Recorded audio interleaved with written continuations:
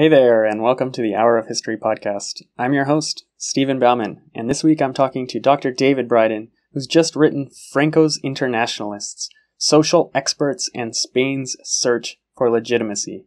It's a fantastic conversation we have that covers how Franco's sort of international organizations go beyond World War II through the war, after the Spanish Civil War, and survive survive through this world realignment that a lot of people often periodize as a new world beginning in 1945. Uh, David kind of shows how some of these links continue throughout. It's a fascinating conversation, and we have good news for you. If you head over to hourofhistory.com, you can get the full book for free because it is being published open access through Oxford University Press. So be sure to head over to hourofhistory.com to read the book after you hear this great conversation. Thanks so much for listening on Hour of History. It's our world, anytime, any place. Enjoy. You're listening to the Hour of History podcast. Our world. Anytime, any place. For show notes, links, and more, be sure to visit our website at www.hourofhistory.com. And for all the book recommendations made during the podcast, head over to hourofhistory.com forward slash recs. That's hourofhistory.com forward slash RECS. Without further delay, your Hour of History starts right now. Hey, David. So I'm so happy to have you with us on Hour of History. Your new book, Franco's Internationalists: Social Experts and Spain's Search for Legitimacy, is is uh, fascinating. Can you uh, tell us a little bit about yourself?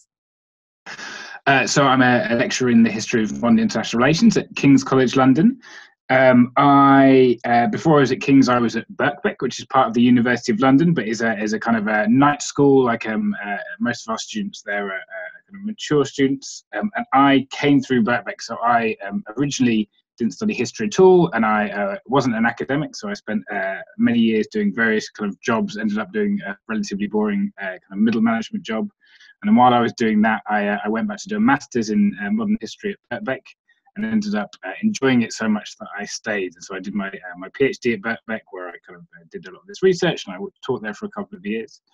Um, and now I've moved down to King's, so I work mainly on uh, the history of internationalism and international cooperation, but also, obviously, as you can tell from the book, on the history of modern Spain as well. Wow. So internationalism seems like it's a hot topic now as as uh, you know we go into further fragments of of, of the world. Um, is your background is were the other sort of jobs that you just described? Did they have anything to do with internationalism? Uh, no, absolutely nothing to do with internationalism at all. So my kind of interest in that came partly from my my kind of uh, my master's study, but mainly um, from the when I was doing my um, PhD, I was part of a project on the history of internationalism and Europe in the 20th century, which was a kind of a collaborative project. It was funded by the Wellcome Trust, which is a, a kind of a research body based in the UK, which mainly funds medical research, but also the medical humanities. And our project had a particular focus on um, public health and internationalism. So the way that um, international cooperation has revolved around um, uh, uh, kind of global health, um, um, you know, um, uh, responses to the kind of the health uh, uh, crises caused by war, caused by migration, by refugee movements, and, and things like that. Hmm, it's interesting. And so uh, this project, then, this new book came out of what was a dissertation? Yes, it was. Yes, this was basically my uh, my PhD dissertation. So as I said, we were, I was working on this uh, this project, and there were I think four or five of us working on various different case studies on internationalism in Europe in the 20th century. So we had people working on uh, Yugoslavia and Hungary and uh, Soviet Union, uh, and my work was on my project was on on Spain. So the book came out of that uh, that PhD project.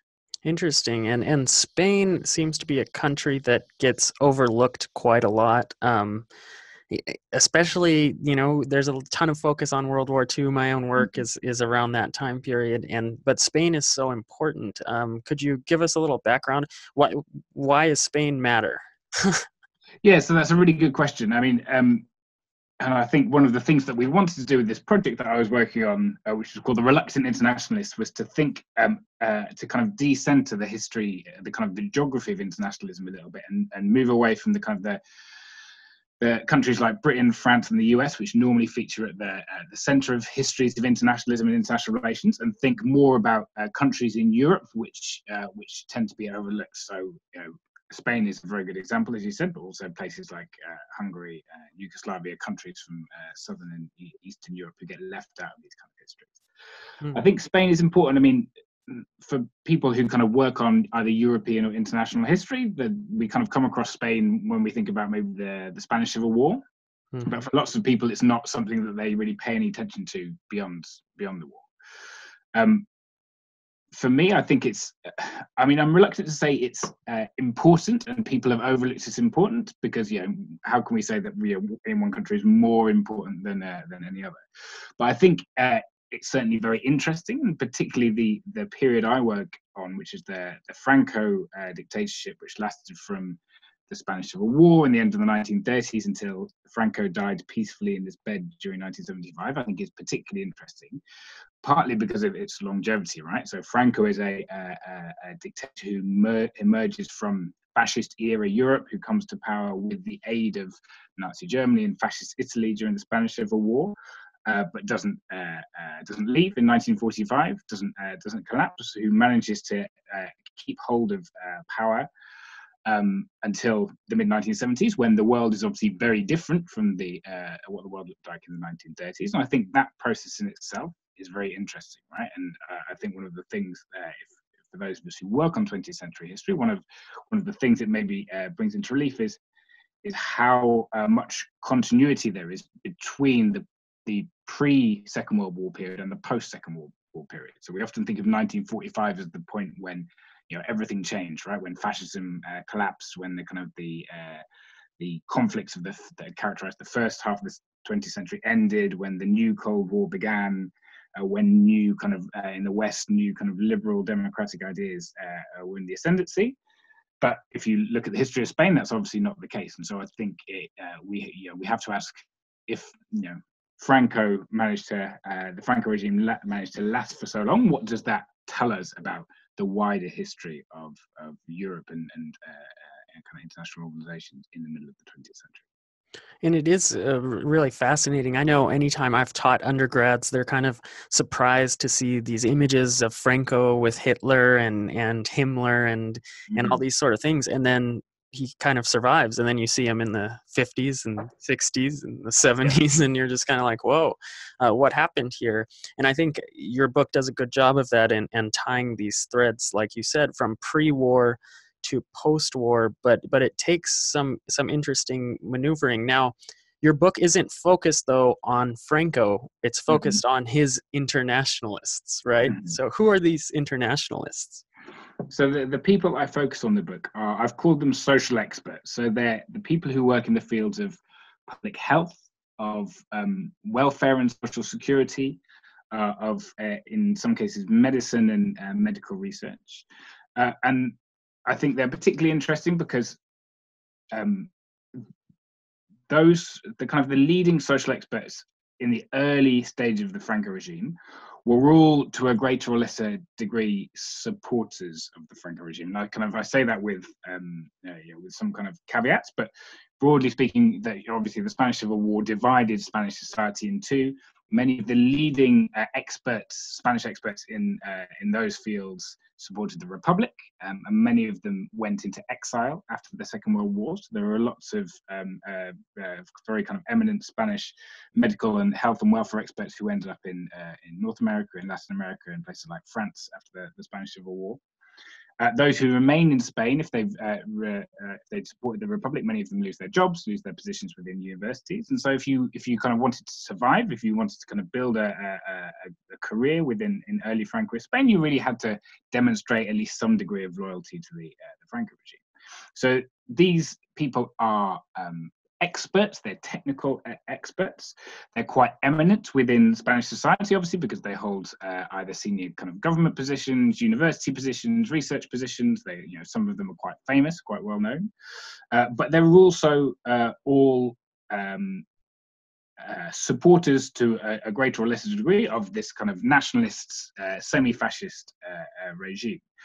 Um, and that's what I found particularly interested about them because if we think about those kind of fields, so welfare, medicine, social security, in the middle of the 20th century, and we think about especially those uh, those kind of fields on an international scale. So the work of organisations like the World Health Organization or UNICEF, or you know, think of any kind of international medical welfare uh, organization or congress. We you normally think of those as kind of progressive movements.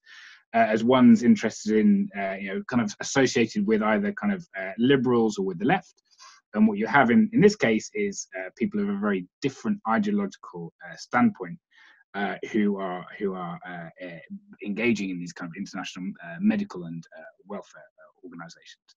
And so the reason that I thought they, they were interesting is this kind of is this tension between their apparent political beliefs within Spain and the, the kind of the language of international health and cooperation and humanitarianism they're using uh, when they're within these international organizations or events. And it's kind of fascinating to see these organizations kind of continue going through periods where people are focused on other things. Mm-hmm. You you have these events like in 1941 when um, you know doctors are getting together across the axis and and even communicating with with the British, and that happens more in the colonial period.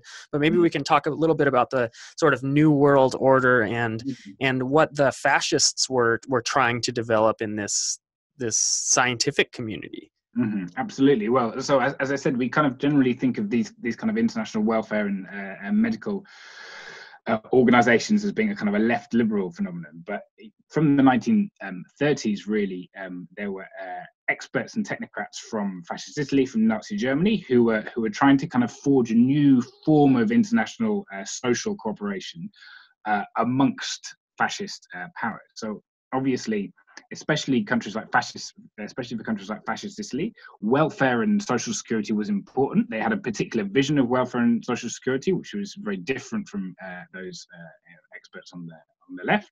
Uh, one that kind of prioritized the you know the health of the nation or the health of the uh, the race, and, and had you know operated on very different uh, assumptions from uh, you know, liberal democratic countries, but nonetheless, health and welfare was very important.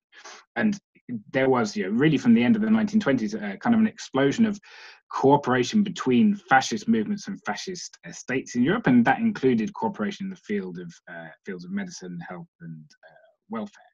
And that really came to a head during the Second World War, particularly after the uh, Nazi invasion of the Soviet Union in 1941, under the auspices of the, the, so-called kind of Nazi New Order for Europe. So this idea that um, you know the, the Nazi occupation of Europe wasn't just an occupation, it was also an opportunity to build a new form of European cooperation.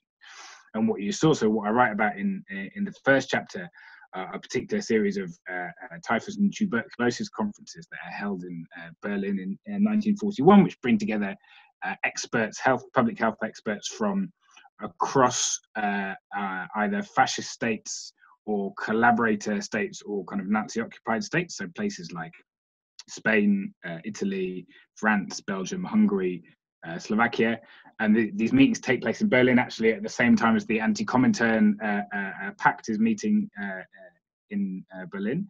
And they, they really do the same kind of stuff that you see experts doing in health conferences in you know liberal and democratic periods. So they say, oh look, there's a war on. In wars, people move uh, uh, across borders more than they did before. Obviously, living conditions are bad, and so what that means is that these diseases are going to, to spread like they did in the First World War, and we therefore have to work together across borders to be able to manage uh, these diseases. And uh, yeah, for many, this was a kind of a practical question. Um, it was something it was a, a, problem that had arisen that had to be dealt with, but it was also very much part of a political project. So a lot of these uh, these experts saw health cooperation during the war as the basis for a kind of a new system of international cooperation that they thought would emerge after uh, uh, the you know, Nazi, you know, after the Axis uh, victory that they expected to come, uh, and they envisaged a kind of a future world order based around this kind of uh, fascist international cooperation. And uh, it's interesting and also kind of challenging for us because, as the reader and as an academic, as a scholar, you we have these labels and, and we're trying to assign them to certain places but but you sort of mention some of these internationalists kind of see what the nazis are doing and that they're not going to actually use these these cures in places like the say warsaw ghetto or, mm-hmm. or where Jews are.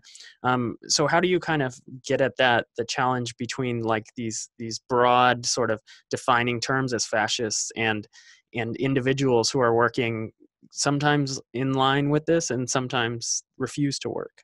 Mm, yeah, well, it's very difficult to to uh, to get a sense of what this cooperation meant for different, you know, for for the individuals involved. Obviously, there's a, uh, lots of individuals who all probably approached it in different ways, and so looking at it from the Spanish perspective, so there were lots of Spanish experts involved in these projects.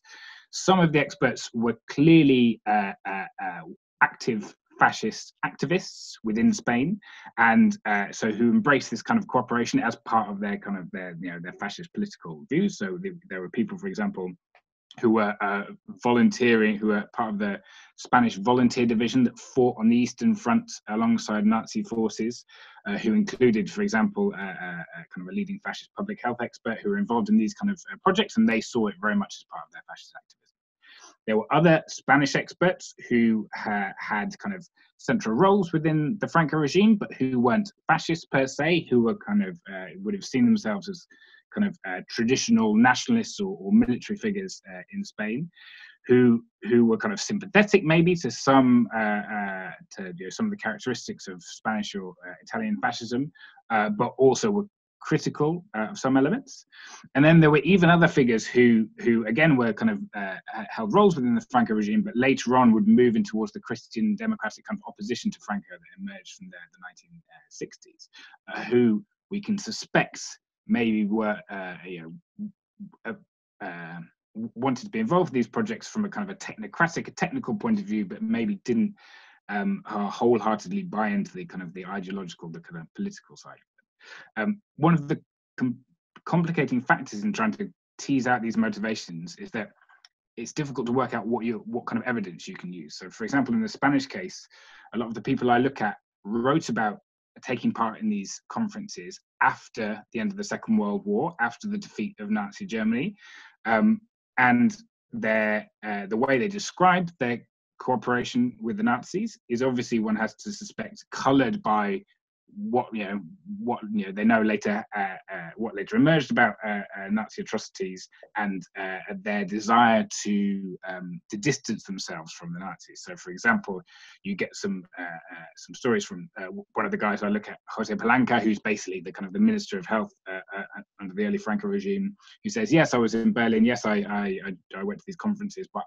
I never really thought they were, you know, I, I had to go. They were a bit of a farce mm. um, and who tells these stories about how you know, um, you know he he he was kind of appalled by the anti-Semitism that he saw there, and he may well have been, but also he's he's he's writing his kind of memoirs 20 years after the, the Second World War, and he may well what he may well have been doing is trying to kind of uh, after the fact distance himself from association with the Nazi regime. There are other figures who, for example.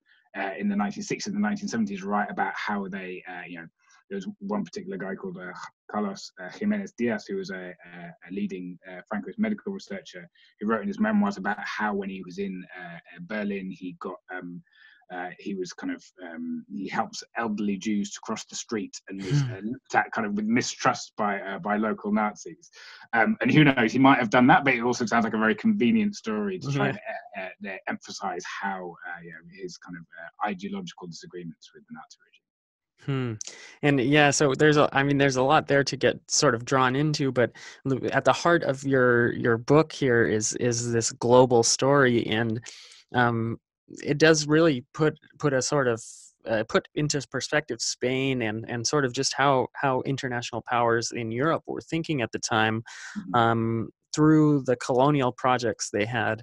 It seems that the sort of internationalist atmosphere in Africa was very different than the wars that were incur- occurring in Europe. Not that there weren't wars in Africa, but uh, the sort of colonial health seems to be more of cooperation across Axis and mm-hmm. ally boundaries. Is that correct? Yeah, absolutely. So Spain um, uh, by this stage had uh, two kind of very small uh, colonial territories in Africa. So the northern part of uh, Morocco. So most of Morocco was controlled by the, the French, but the northern part of Morocco uh, being controlled by the, the Spanish since the uh, early 20th century. Um, and then uh, what was known as Spanish Guinea, which is today Equatorial Guinea, just on the on the west coast of Africa. Um, and what you can see happening both during and after the war is perhaps a quite surprising degree of health and welfare cooperation between uh, the imperial powers uh, in Africa, including in, in some kind of a surprising degree, for example, between Francoist uh, colonial uh, powers in, in Spanish Guinea and free French um, governments, colonial governments in neighboring territories. Um, and that cooperation, I mean, that builds on um, a longer history of inter-imperial cooperation in, in Africa, which I think was, was particularly evident in the interwar period. So, you know, the, the, the kind of the civilizing, the language of the civilizing mission in the, in the kind of interwar period and the increasing focus on uh, development in, in colonial Africa had kind of um, provoked uh, increasing amount of cooperation between imperial powers in in uh, in uh, Africa in the, interwar period. That continued during the Second uh, World War, but then also continued into the post-war period as well. So in the the post-war period, uh, the remaining European uh, imperial powers were particularly keen to emphasize their development credentials in order to to kind of um, uh, to counter you know, rising uh, nationalism uh, within these African societies, rising demands for independence. But they were also particularly worried about the, the UN and the, newly formed UN would use health and development as a way to, as they saw it, interfere in African affairs. And so from, from their point of view, if they could demonstrate that the imperial powers were already cooperating uh, to kind of promote African health and uh, uh, medicine and development, then that would provide them with an excuse to prevent uh, organizations like the WHO and uh, UNICEF from, uh, from engaging with Africa. And the UN certainly offers an interesting thread to follow through all of this because of uh, Spain's, well, it's not an allegiance, but Spain's leanings during the war. Uh, mm-hmm. the UN kind of rejects Spain. How, how is Franco, what are some of the ways that Franco's able to sort of shift this perspective because he he needs to be part of the world community after you know sort of this this autarky fails and he can't just be totally alone in Spain. Mm-hmm. Absolutely. I mean, the the end of the Second World War is that probably the the point where Franco and the Franco regime is most vulnerable. So, obviously, Franco would come to power with the support of the Axis powers, during the early stages of the Second World War, he'd never, uh, he hadn't um, formally uh, become involved uh, with the uh, with the war, but he had sent this volunteer. Kind of the Second World War developed, he kind of gradually began to distance himself from uh, from the Axis powers and to kind of to build, rebuild links with the, the Allies, kind of hedging his bets.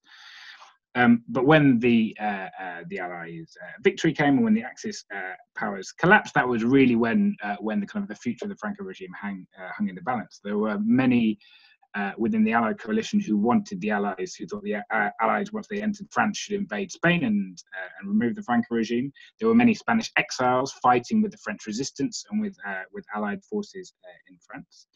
And with the creation of the UN, there were there were many countries including the Soviet Union, but also including many countries in, in, in the West, who felt that um, uh, there could be no way that, that uh, Spain, the Franco regime, could continue in Spain in this post fascist era, that it had to be removed somehow. And there was really a period from 1945 until 1947, early 1948, when uh, the where, uh, where there were kind of very intense international brigade, uh, debates about what should happen, what should be done with the Franco regime. There was some talk about invasion. There were diplomatic and economic sanctions, and Spain was uh, was excluded from the newly founded UN. Uh, and so during this this period, Franco regime kind of worked uh, diplomatically to try and uh, to try and kind of re-establish its its legitimacy and try and kind of regain a, a foothold within the international system. And partly, they uh, the regime did this by distance itself from its uh, fascist past. So the, the Franco regime had always been something of a coalition. It included uh, fascists. So there was a, a Spanish fascist party called the Falange, which had played an important part in the Spanish Civil War. But that coalition also involved uh, uh the Spanish military, um, uh, more traditional conservative uh, figures, and important Catholic factions. So really, the kind of a, the full ideological spectrum of, of, the right. And so after the Second World War. Franco uh, removed many of his fascist ministers and promoted uh, many of the, uh, the, Catholic politicians within the regime. So, most notably in the case of uh, uh, a Catholic, um, uh, long-standing Catholic politician and international activist called Martin Artajo, who was promoted to Spanish foreign minister, and who was really tasked with presenting a new space of face for the Franco regime to the world. And then where that came, where this becomes important for my story is that um, one of the the forums in which this kind of process played out was in the uh, World Health Organization. So the World Health Organization was founded in 1946 as part of um, uh, the kind of the UN uh, system. And like with in the UN, there was a big debate about whether Spain should be granted membership uh, or not. Um, and uh, ultimately, it wasn't when the uh, organization was founded in 1946. Uh, uh, but Spain saw the WHO and other kind of technical organizations like it as a kind of almost like a Trojan horse they could use to enter the UN system because there were lots of international health experts who thought that who really believed that membership of the uh, WHO should be universal. There should be no kind of political barriers. For them, you know, health knows no kind of political uh, barriers. Everyone, every individual in the world has the right to good health. Therefore, every uh, state in the world, regardless of their political affiliation, should be allowed into the WHO. And the Franco regime was uh, really able to utilize uh, some of this kind of rhetoric uh, to gain entry to the WHO. Um, four years before it was able to uh, gain full membership of the UN, and, uh, and organisations like the WHO and, and, UNICEF kind of acted as a kind of a stepping stone to full UN uh, entry uh, membership that uh, ultimately came in 1955. The other big context, of course, for this kind of rehabilitation of the Franco regime is the, the Cold War. So what Franco did was to kind of position himself as the kind of the the you know the staunchest anti-communist uh, in the West. So he, he can't have argued that the, the Spanish Civil War hadn't been a fight between uh, fascism and democracy, as it generally been understood in the West, but as a, a fight between Western Christian civilization and uh, and the global threat of communism. So, with this kind of uh, with the rise of the Cold War, um, uh, Western states, particularly the US, were increasingly inclined to uh, to overlook uh, Franco's kind of uh, past sins. Uh, the combination of that and their ability to kind of leverage the language of international health and international humanitarianism in organizations like the WHO were what really helped uh, this kind of process of gradual reacceptance within the UN system and it is kind of extraordinary that they had uh, so they had what you just described this sort of health vehicle and at the same time uh, catholicism as a central sort of uh, focus of of the franco regime and the history it has in spain mm-hmm. Uh, really helped the internationalism the the catholic church also had been right in or at least uh, associated with fascist italy uh, how did the sort of Catholic identity of Spain help it to sort of rehabilitate its image in the West post war? So I think, I mean, it was particularly important because of the um, the, the kind of the religious revival, if you like, that took place in uh, Europe uh, and to a, to an extent in uh, America after the Second World War. So we normally think of the kind of the Second World War era generally as a kind of a secular era, but the immediate post-war uh, years certainly saw a, re- a, revival of religious belief generally across and religious practice uh, uh, across Europe, but, but, also the kind of political rise of movements like the the Christian Democrats uh, movement. So, you know, most Western European states after the war were led by Christian Democrats, and particularly by Catholic Christian Democrats. So people like Adenauer in Germany, like De Gasperi uh, in Italy, and uh, many of these uh, people had been active in international Catholic networks in the interwar period. And these were exactly the same networks that Spanish Catholics, who were now part of the Franco regime, had been involved in. So, although the Franco regime was not Christian democratic, so although there was a, a kind of an ideological uh, divide between um, uh, uh Spanish Catholicism and uh, Western European Christian democratic Catholicism, they also shared a, a certain language, a certain conception of, of of kind of politics and particularly of you know what what the the West, what it meant to be part of the West, um, that kind of um, promoted uh, uh, uh, uh kind of sympathy towards Spain in general and the, the Franco regime in, in, particular. I think in the the field of health, what it uh, and and kind of welfare and social expertise, what it allowed um, Spanish experts to do is to kind of tap into this uh, uh, the language of social Catholicism. So obviously, since the end of the 19th century, the uh, Catholics and the Catholic Church have been increasingly interested in social uh, provision, partly as a way of, of kind of um, uh, preventing, uh, you know, the Catholic working classes from from kind of defecting to, to communism or to, to socialism. And so, uh, you know, in the in the interwar period, social Catholicism had been an important part of kind of the, the, the um, international uh, Catholic uh, milieu, um, and um, many uh, Spanish health and welfare experts came from within this tradition, and they therefore shared when they were going to kind of international conferences and international organizations, they shared uh, a set of languages and assumptions with their Catholic counterparts from other Western European and, and North American states, which again really helped with their integration of these uh, these kind of networks. Hmm. And, and another theme that we sort of see, though, is not only just these kind of successful networks, but you also have uh, a pushback, and you you've alluded to it a couple times in the conversation so far. Certainly, it, it pops up in in my research where I'm looking at refugees, where I mean, there's there's two massive refugee crises at least in World War II, and you you mm. know you have the Jewish exile from Europe, and at the same time you have the Spanish, uh, everyone who fought against Franco leaving mm. Spain, and that continues for a long time, and they go right to the to other countries. They don't stay in Spain. So what what is the sort of opposite perspective to these Franco's internationalists? Mm. Are are they getting pushback abroad? Are they getting pushback from the refuge former refugees or? Yeah, absolutely. So partly they get they get some pushback so from within international organizations so within organizations like the WHO so as an example um, as i said many of the kind of the leading uh, spanish experts had supported the republic had gone into exile after the spanish civil war um, and, and many of them had played important kind of international roles in the interwar period with organizations like the League, League of Nations. Um, so uh, one uh, uh, good example is a guy called Marcelino Pascua, who was the, uh, the kind of the Minister of Health for the Republican uh, um, government prior to the Spanish Civil War, was a leading international health expert, worked with organizations like the League of Nations Health Organization, um, and then during the Second World War uh, took on kind of political roles. The, sorry, the Spanish Civil War took on political roles with the Republic. So he was the, the Republican ambassador to Moscow, the Republican ambassador to, uh, to uh, France during the Spanish Civil War. And then after the uh, Spanish Civil War, he went into exile. And after the Second World War, he managed to uh, to kind of uh, gain a position within the newly created uh, World Health Organization. Um, and so he was uh, uh, within the World Health Organization when the Franco regime and Franco's experts were trying to use that organization as a kind of a foothold back into the international community.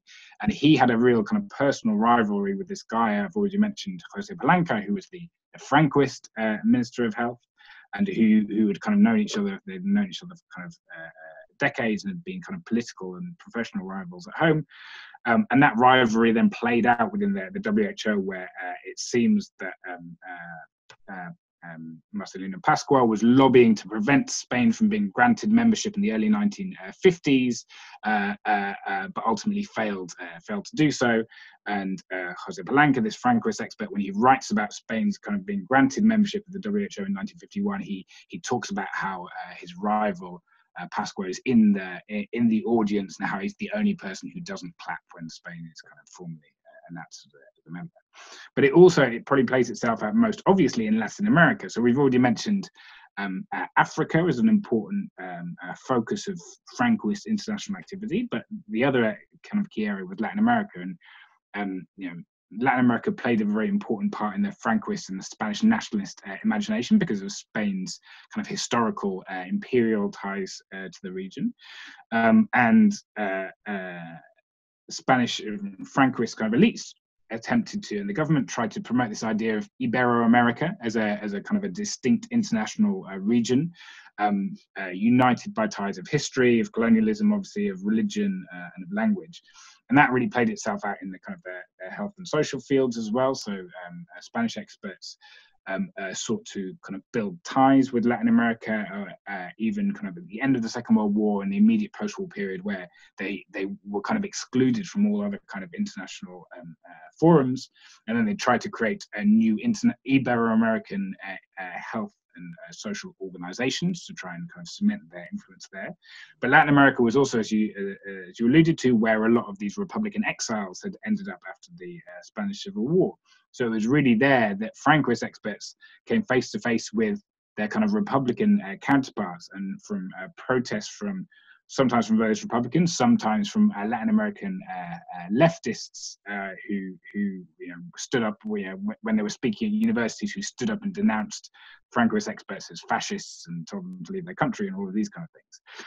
And and so there was a there were there were some cases where uh, exiled Republicans tried to uh, uh, put forward a kind of a, an alternative vision of Ibero-American uh, uh, solidarity based on kind of you know uh, left-wing visions of, a, of kind of a, a solidarity and political sympathy, in contrast to what they saw as the kind of the neo, what they characterized the neo-imperialist tendencies within Francoist Ibero-American thoughts and projects. And and ultimately i mean through throughout the book you're giving us evidence of these people who have who have sort of gone gone abroad and and whether there's you know pushback or, or not they're they are to a certain extent completing this mission um, you use this great uh, evidentiary base that I think a, a, lot of people kind of forget the significance of the the World's Fair as an example, mm-hmm. and and these are kind of like great uh, you know uh, materials and and things that actually mattered quite a bit. Um, and it and it's getting towards the sort of the the end of the period of your story. Do, are the World's Fairs significant in this? Does it show a sort of completion at all of this mission, or no?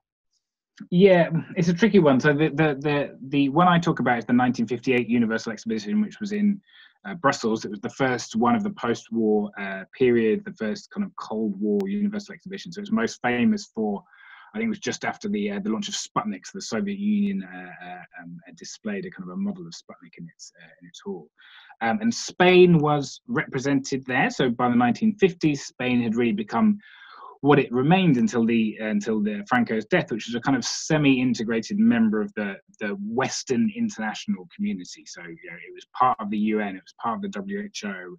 Uh, it was, um, uh, uh, you know, its experts and, uh, and elites were accepted within international conferences and events and networks, but it wasn't part of NATO. It wasn't part of the European uh, community, and that's really kind of how it how it stayed for, for the rest of the, the Franco regime. Um, so Spain is represented at the Universal uh, Exposition. Where it was interesting from my point of view, and actually where where you got most kind of Spanish engagement with it, was around the um, uh, the Vatican uh, Pavilion. So the, uh, obviously, uh, Belgium is a, a, a, a, Catholic country, and the um, uh, Belgium organisers saw the Universal Exposition as a way of promoting a very distinct, kind of distinctly Catholic vision of of global community and humanity. And the Vatican uh, uh, Exposition was one of the, the, the, the, main centers and the most popular kind of attractions uh, at, uh, uh, at the event. And it was uh, the site for kind of a really wide array of international Catholic events and conferences and projects. So, including, for example, international Catholic medical conferences, which are or, or, international Catholic nursing conferences, which a lot of Spaniards are involved in. And I think, from a, a Spanish point of view, it really illustrates the the um, the extent to which their post-war integration was based around this kind of idea of a shared Catholic and Christian identity with other Western European and uh, and North and uh, South American uh, countries. For you know, for them, that was really the most uh, fruitful uh, fruitful kind of avenue of, of cooperation by the 1950s. Hmm. And eh, now here we are, you know, in 2019, and and this week is, uh, you know, October of 2019. For you know, people are going to be listening to this, I think, for a long time to come. It's a fascinating topic, uh, but it, there in the news is is Franco's remains are being mm-hmm. exhumed. Mm. Uh, this is still such an important conversation that people are having in Spain, people are having globally about Franco and the Franco regime. Um, what have you received feedback so far? What what are people kind of saying about this conversation on uh, Franco, and and how has your work been received? Well, I mean, you know, to be honest, it's, it's too early to, to, to, say how it's been. I mean, I've, uh, I know how it's been received by the kind of the, the historians that I've uh, spoken to about it, who uh, who kind of I think find it uh, interesting. I, I'm, I do not think it has a kind of a, a broad public uh, profile in Spain. It'd be very interesting to to see if it gets translated, uh, if it does. I think, I mean, obviously, the memory of uh, the Franco regime is very fraught in Spain. The memory of the Franco regime and the, and the Spanish Civil War. So the, you know, the historical memory has been a kind of a big the key the key topic in um, uh, Spanish historiography over the last uh, few decades, and it's been a really uh, important part of the political debate in, in Spain as well, as we can see from this kind of debate at the moment about the exhumation of uh, Franco's uh, Franco's remains. I don't think I'm uh, necessarily trying to make a kind of an intervention in in that debate. So it's although I'm kind of focusing on uh you know Spanish uh, social experts and, and focusing on the, the, kind of the, the, propagandistic use that the Franco regime made uh, uh, uh of their idea of kind of uh, the social state and the welfare state in Spain. Uh, ultimately, as um, many many historians have demonstrated over the last few decades, the Franco regime was not a social state; it was not a welfare state in the way that we that we kind of understand it in uh, now it was a highly repressive uh, uh, dictatorship which you know, killed uh, and uh, uh, imprisoned and tortured thousands of its citizens, particularly in this kind of this kind of early stage. Hmm. Um, so I, I, you know, I think it, the kind of the relevance of this story is probably less towards the you know to to debates in Spain at the moment, and more to some of the uh, the stuff that's happening in our international system at the moment. So when I started working on this, what would have been in 2013, hmm. I think it, so it's pre-Brexit, mm-hmm. pre-Trump. It's you know an era where kind of say organizations, you know, people like Orban and uh, Le Pen are, are, are, kind of influential. But what we've seen since I started this project actually is, is the real rise, the re-emergence of forms of what you might call kind of the transnational, the international far right. So efforts, uh, uh, particularly within Europe, to uh, to bring together various forms of kind of populist right wing uh, movements.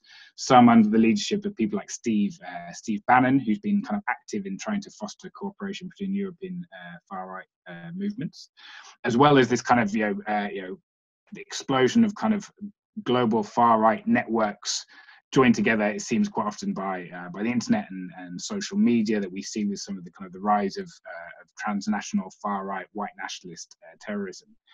And i think what's that that that's really done is brought back into the focus uh, and kind of brought to everyone's attention that what i think is a fairly basic and kind of obvious point that it's possible you know cooperation across borders isn't uh, fundamentally doesn't isn't necessarily always a progressive or a liberal or a, a, a positive thing. There's nothing to stop uh, uh, uh fascist nationalist people we don't uh, agree with or we don't like cooperating across borders uh, just as much as people on the left or, or, or people or, or liberals. And i think that's that's where this history is is particularly important, right? It just reminds us uh, that that uh, far right, ultra nationalist, fascist movements have always thought internationally, hmm. um, and, and, and have to think about them. Although it seems some in some way counterintuitive to think of ultra nationalist movements as also internationalists. They ultimately are right. So the rise hmm. of fascism in the interwar period was uh, did not take place in a, a, one single nation. It was undoubtedly a transnational phenomenon. Ideas were shared across borders uh, and applied uh, to, to, different cultures. Individuals traveled across borders. They cooperated with each other, and that's exactly the same now, right? The rise of uh, the new generation of uh, far right populists uh, looks different in every different country, manifests itself differently in every different country, but is all ultimately all part of an interlinked phenomenon. So you see this in Spain as well. For the Spain, in the first for the first time since the transition to democracy, we now have uh, a far right uh, party uh, uh, party which is gaining seats in, in national parliaments, which is forming part of local governments and that has its uh, this party called Vox has its own kind of unique Spanish characteristics, not least its kind of uh, reverence for the Franco regime and uh, Francoist uh, history, but it's very clearly part of this uh, general rise of the, the, the populist right in uh, Europe and North America. And this is yeah this is absolutely fascinating stuff. And um, i see i sort of feel like with this and and with your use of the intellectuals anyway you have sort of like an endless uh, uh, sample size because there's there's so many people that are heads of organizations that have to interact with with these regimes and somehow have to navigate international organizations as well. Mm. it, it's really complex stuff and, and i think it's really uh, useful to us. I feel that you're you're sort of with your work getting pulled more into the future. A lot of historians i talk to end up end up writing their next book about an earlier era. uh, are are you getting pulled to, in one direction or the other? Are you going to stick with these sort of intellectual histories? Um, what's interesting you now? Yeah, well, so I think I think I'm um, probably moving towards the future, um, uh, and I think I mean one of the things that uh, uh, uh uh, I'm interested in. So I'm, I'm, interested in this kind of post-war period. So one of the things I'm working on at the moment is is um, uh, refugee movements in the uh, the post-war era, and and uh, particularly kind of Christian uh, NGOs and their support for um, refugees fleeing communism in the the early Cold War, and the the way that um, uh, these NGOs, which including Spanish NGOs, used uh, kind of uh, refugees and refugee relief as a way of um, uh, kind of promoting a particular vision of the Cold War and the, the, Cold War West. So the way that they kind of made used refugees as a, as a kind of a way to make anti-communism and to make the kind of the dangers of communism real for uh, citizens of the West in the early Cold War. Um, and I think that's uh, you know that's kind of part of I see that as part of the project, which a number of historians have kind of been um, uh, kind of focusing on recently, of uh, on recovering the kind of the the very uh, conservative Christian foundations of many of the the kind of the post-war uh, international or at least Western institutions. So the post-war world is commonly referred to as the kind of the beginning of the liberal world order. But actually, if you look back at the 1940s and the 1950s, there's not much that's liberal uh, about it in the way that we would understand it now about a lot of the organizations that, and, and movements that are emerging. And I think beyond that, I mean, one of the things that I'm, I'm very interested in is the, the kind of the wider history of transnational anti-communism across the, the 20th century. So I think the, the Franco regime you know, if there's one thing that links all of these kind of forms of Francoist internationalism together, one thing that uh, links kind of you know fascist international cooperation with Catholic international cooperation, one thing that kind of uh, links Spain's kind of you know Nazi partners with its uh, kind of you know slightly more progressive WHO uh, partners in the 1950s, is that is anti-communism, is an opposition to the Soviet Union and to the, the, the perception of the global communist uh, threat. And I think it's um, you know, it's part of a much uh, wider and very uh, uh, interesting 20th uh, century uh, history of transnational anti-communism, which you can argue, but I think perhaps is the the kind of defining intellectual and political force of the 20th century. Right? It's it's you know if, if you think about um, you know whatever kind of area you're interested in, if you think about um, you know, the rise of fascism, um, the emergence of social democracy, the creation of the welfare state, the Cold War, the European uh, the European Union. The, the, one thing they all have in common is is uh, is uh, anti-communism, um, mm. and so I think that's I, my kind of future project is to to think about you know to broaden my perspective from Spain and try and think about that that kind of wider history and think about how anti-communism has uh, acted as a kind of hub for particularly kind of conservative or nationalist uh, nationalist to cooperate across uh, borders. And obviously, if we take this up to the present day, obviously communism is is not uh, a live kind of threat uh, to the uh, to the right today. So you wouldn't describe Bannon or Trump or Le Pen as anti-communists, but I think a lot of their kind of language, uh, a lot of their iconography, a lot of their uh, uh, a lot of their rhetoric immer- to some extent has its origins in this kind of 20th century transnational anti-communist uh, uh, uh, traditions.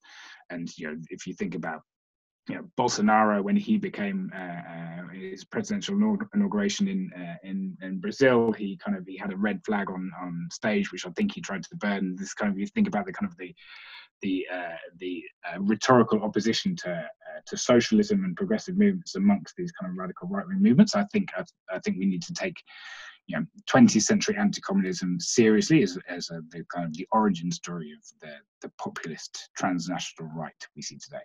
Yeah, that's going to be fascinating, and, and we'll have to keep an eye on that. Now, one thing you did with this book is that it's uh, it, through the publishing is it's open access. Uh, can you talk a little bit about that?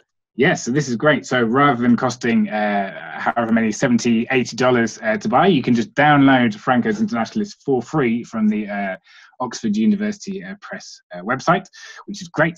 Um, it's uh, that was made possible thanks to the Wellcome Trust. So I said the Wellcome Trust is this research organisation that funded the project that my PhD was was part of.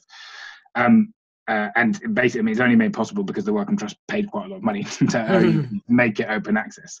Um, and but obviously, open access is, is kind of a big uh, movement now for anyone who works in, in kind of universities or academia or you know, they're conversations that we're having uh, we're having a lot. Obviously, there's the emergence of things, something called Plan S, which is going to kind of push. Uh, looks like all journals uh, publishing uh, models. I know I've been lucky enough to have the kind of funding available to for most of my kind of previous articles to be open access, um, and you know there's debates about how that is practically going to work in the future and the you know the impact that's going to have on the kind of academic publishing industry. But ultimately, I think from my point of view, it's it's, it's got to be a, a, good thing, right? And when you write these kind of academic monographs, especially like mine, a kind of a first book with publishers like you know the university presses, hardback books are too expensive for ordinary people to afford, right? No one's, you know, only a handful of people are going to buy a seventy pound uh, uh, kind of uh, book mm. like this. Um, you know, it's really for you know the the mod publishing model is there's the, a few, a few copies get bought by university libraries, but if it's open access, it's you know available to anyone. So you know you can just go and download it, and hopefully what that means is that it gets a much uh, wider audience uh, than it uh, otherwise, which is really really fantastic. Yeah, and I think that's great, and, and we'll certainly have links to that at hourofhistory.com, so you can go and and find that open access. Because uh, I mean, the details in the book, like like you said, it, it, was grown out of a dissertation. So I mean, every sentence is packed with a citation, and and so there's tons of stuff there, uh, tons of material that you can sort of unpack. And and the fact that it's open access, yeah, just hopefully it, it not only opens the doors for an audience, but it also um, it's just easy right? Mm-hmm. it, it's just a click and it's there. I mean, it, it's so i don't know it, it i'm i'm glad you're you're uh, experimenting with this and it's nice of the the Wellcome uh, trust to do this. Yeah absolutely. um, yeah so that's that's fantastic.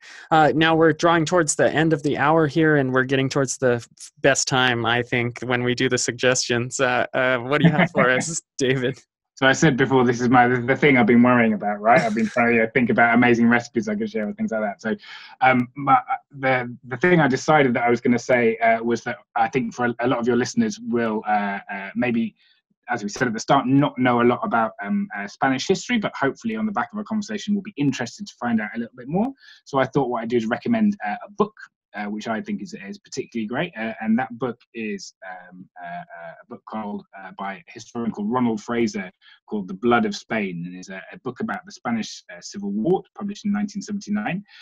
it's an oral history. So Ronald Fraser is one of the pioneers of oral history, and he, he put together this this book through interviews with um, Spaniards between you know in the late 1970s, so kind of shortly after Franco's death, and he interviewed uh, kind of leading figures from the Spanish Civil War, but also kind of a big range of uh, ordinary Spaniards as well.